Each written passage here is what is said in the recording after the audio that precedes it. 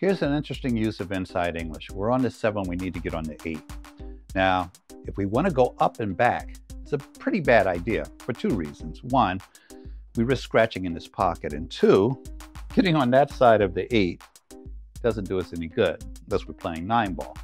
So, what if we play high left hand English, come off of that rail and that rail, and pull up for the eight? We avoid the traffic, we avoid the scratch, and we have a shot that looks like this.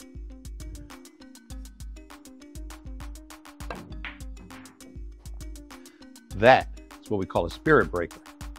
We get perfect position on this eight. If we're playing nine ball, guess what? We're still out.